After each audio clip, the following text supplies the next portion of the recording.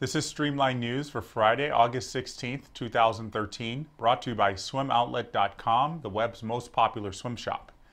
Only one world record was set last night at the IPC World Championships, but the crowd in Montreal was more excited to watch local Paralympic hero Benoit Huot win the 200 IM in the SM10 division with a 210.34, just three tenths off his world record.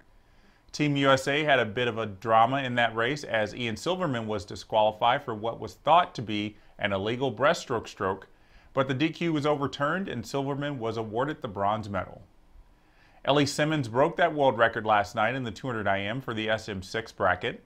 Simmonds lowered her own record, which had stood at 305.39 from the Paralympics, down to 304.41. Simmonds got the day off today, but will be back in action on Saturday in the 100 backstroke.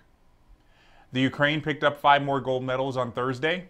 Olga Sviderska won the 50 back in the S3 division with a European record of 57.97 to highlight the event. And Andrei Kalnia won the men's 100 breast in the SB8 bracket with a 107.05, just 400 slower than his world record. Today's competition featured a world record in prelims thanks to New Zealander Sophie Pascoe in the women's 100 fly in the S10 division.